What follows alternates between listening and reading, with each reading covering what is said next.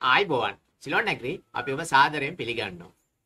අපි අතීතයේ ඉඳලම අපේ රටේ එක පුරුද්දක් වශයෙන් අපි පැල හිටවන එක අපි කරගෙන ආවා වසරක් පාසාම. ඒ කියන්නේ සිංහල අවුරුදු උදාවත් සමගම නැකතක් කියනවා. ඒ නැකතට අපි හැමෝම එකතු වෙලා පැල හිටවන්න පටන් ගන්නවා. මෙතෙක් කලුත් අපි සිරිතක් වශයෙන් ඒක කරා. ඒක විශේෂත්වයක් තියෙනවා අපිට පැලයක් හිටවන්න නැකතක් අවශ්‍යම නැහැ. නමුත් එක වෙලාවකට රටක් පුරා හැම කෙනෙක්ම වාගේ පැලයක් හිටෙවොත් පැල විශාල ප්‍රමාණයක් අනිවාර්යෙන් ඒ වෙලාවට හිට වෙනවා. ඒක තමයි මේකේ තියෙන ඉතාමත් වැදගත්කම. මොකද අපි මොන යම් කිසි දෙයක් හරි අපිට පුළුවන් පරිසරයට පරිසරය වෙනුවෙන් පැලයක් හිටවන්න. ඒ නිසා මේ අපිට දැන් ලවන්නා වූ මේ සිංහල අවුරුද්දත් එක්ක අපිට තියෙන විශේෂ දිනයක් වෙන් කරලා වෙලාවකුත් එක්ක. ඒ තමයි අප්‍රේල් මාසයේ 20 වෙනි බ්‍රහස්පතින්දා පූර්ව භාග 6:38ට යෙදෙන සුබ මොහොතින් පැලයක් හිටවන්න කියලා දැන් ගොඩාක් මේ වන විට ඔබ දන්නවත් ඇති. ඉතින් හොඳ දවසක් හොඳ වෙලාවක් ගහක් කොලක් හිටවන්න හිටවලා අපේ අනාගත පරපුර වෙනුවෙන් දූ දරුවන් වෙනුවෙන් අපට පුළුවන් දායාද කරන්න.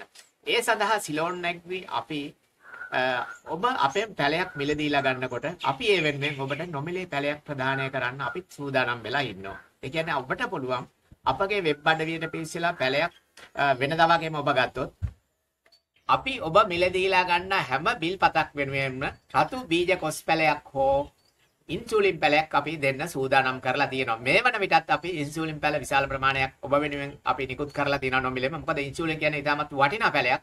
අපි ඒ නිසාම ඒ පැලය හෝ නැත්නම් කොස් පැලයක් හෝ ඔබ බිල්පතේ වටිනාකම අනුව අපි පැල දෙකම හරි දෙන්න අපි සූදානම් කරලා තියෙනවා.